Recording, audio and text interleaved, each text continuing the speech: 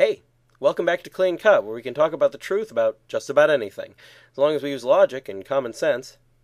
This season, we're returning to the topic of the Psalms and their meaning. Now, a brief disclaimer before getting into this psalm. The Psalms will be numbered differently in different translations of the Bible. This is a very, very old discrepancy, and to help clear things up, I'll be explaining what number the psalm has in the Douay-Rheims Bible and in the Revised Standard Version. However, the episodes themselves will list psalm numbers as they're given in the Douay-Rheims Bible. Sorry if this is confusing. Anyway, this is Psalm 40 in the Douay-Rheims Bible, but Psalm 41 in the RSV. Unto the end, a psalm for David himself. Brief description of the psalm's purpose. Blessed is he that understandeth concerning the needy and the poor. The Lord will deliver him in the evil day. Not just people who give to the poor, but people who understand what they need in order to take action for their benefit. As Jesus said, those who act mercifully towards the least do so towards him. The Lord preserve him, and give him life, and make him blessed upon the earth, and deliver him not up to the will of his enemies. In short, may God grant every earthly blessing to the person who is good at helping the poor, and does so. The Lord help him on his bed of sorrow. Thou hast turned all his couch in his sickness.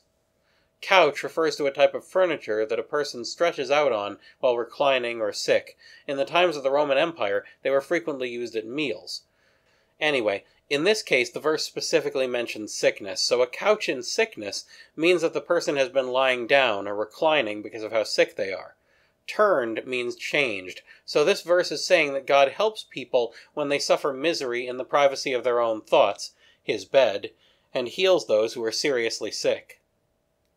I said, O Lord, be thou merciful to me. Heal my soul, for I have sinned against thee. Every one of us have sinned, and we plead with God for forgiveness, so that we can be restored to a good relationship with Him through His mercy. My enemies have spoken evils against me. When shall he die and his name perish? It sounds like David's enemies are getting impatient with how long he's lived. Most truly just people who live long enough will find themselves with these kinds of enemies. And if he came in to see me, he spoke vain things. His heart gathered together iniquity to itself. He went out and spoke to the same purpose.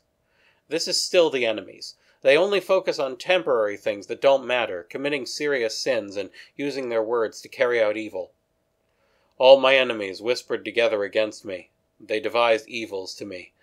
They determined against me an unjust word. Shall he that sleepeth rise again no more?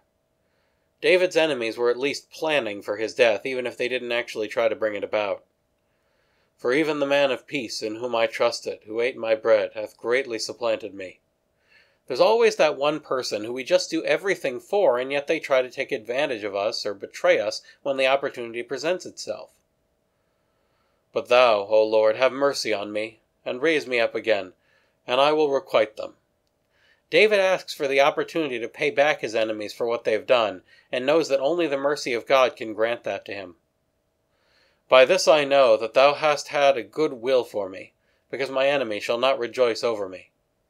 Because David didn't personally hear God's voice, though prophets did occasionally visit him, he mainly determined the will of God by the blessings he was given. But thou hast upheld me by reason of my innocence, and hast established me in thy sight forever.